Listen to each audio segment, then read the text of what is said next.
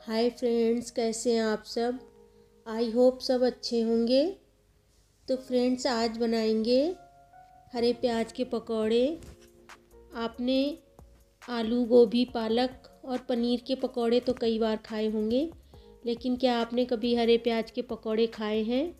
अगर नहीं तो ये रेसिपी ज़रूर ट्राई करें। तो फ्रेंड्स, चलिए बनाना स्टार्ट करते हैं। हरे प्याज के पकौड़े। तो सबसे पहले हरा प्याज लेना है। ये मैंने 250 ग्राम हरा प्याज लिया है। इसको अच्छे से साफ़ करके धुल लिया। फिर इसको हमने काट लिया है। अब इसको हम एक बाउल में ट्रांसफ़र कर लेते हैं।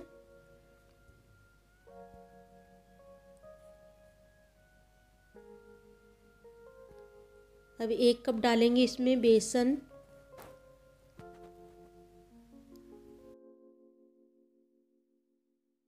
धनिया, पत्ती और दो ग्रीन चिली। फिर हम इसमें डालेंगे आधा चम्मच जीरा और आधा चम्मच अजवाइन क्रस्ट करके डाल देंगे।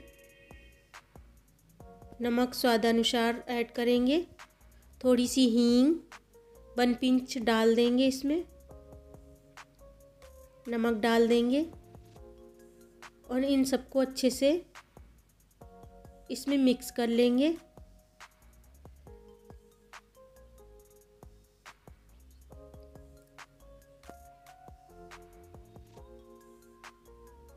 अब हम थोड़ा थोड़ा इसमें पानी डालकर मिक्स करेंगे इसको।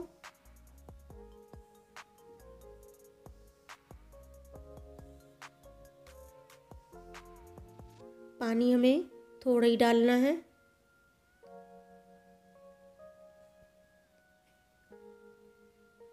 अच्छे से मिक्स कर लेंगे। अगर आपको बेसन कम लगे तो आप और डाल सकते हैं। अब डालेंगे हम इसमें रेड चिली पाउडर हल्दी पाउडर हाफ़ टी स्पून इससे इस पकौड़ों का कलर बहुत अच्छा आएगा। हम पानी डालकर इसको मिक्स कर लेंगे। तो हमारा बैटर बनकर तैयार है। हम कढ़ाई रखते हैं गैस पर और इसमें पकौड़ों को डाल देते हैं।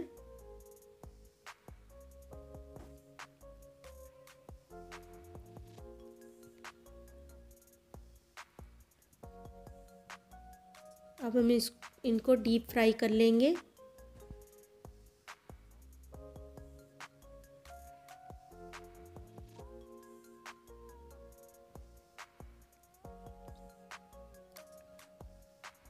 गोल्डन होने तक इनको डीप फ्राई करेंगे। ये ठंड के मौसम में के लिए एकदम सही रेसिपी है। तो फ्रेंड्स एक बार ज़रूर ट्राई करें। ये खाने में बहुत ही टेस्टी लगते हैं। तो आप इस शाम की चाय के साथ या सुबह के नाश्ते में बना सकते हैं। और बनाना बहुत ही आसान है।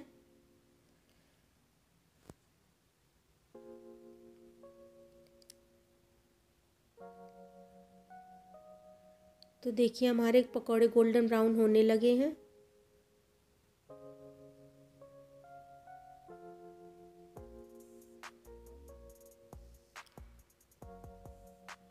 हमें इन्हें लो टू मीडियम फ्लेम पर ही कुक करना है, जिससे ये अंदर तक कुक हो जाएँ।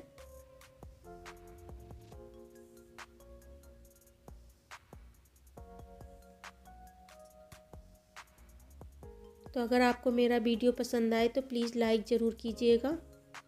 और मेरे चैनल पर नए हैं तो प्लीज़ सब्सक्राइब कर दें।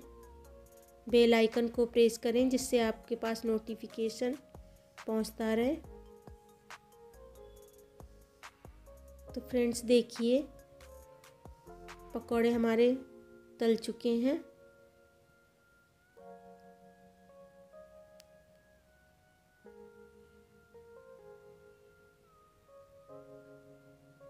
अब हम इनको निकाल लेते हैं प्लेट में।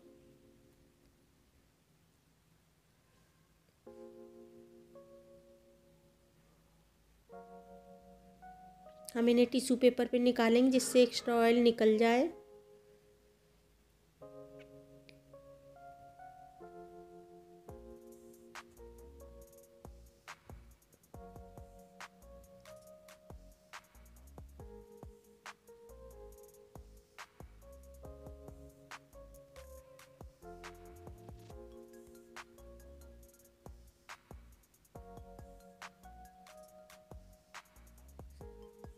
सेम प्रोसेस से हम फिर से पकौड़े बना लेते हैं।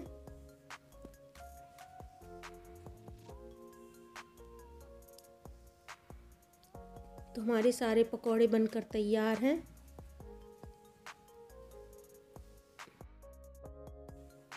अब इनको हम प्लेटिंग कर लेते हैं।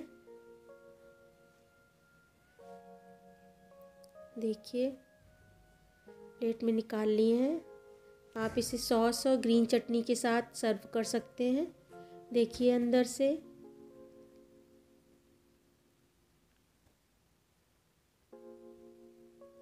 तो फ्रेंड्स, आपको मेरा वीडियो पसंद आए तो प्लीज़ लाइक, शेयर, कमेंट करें। Thank you.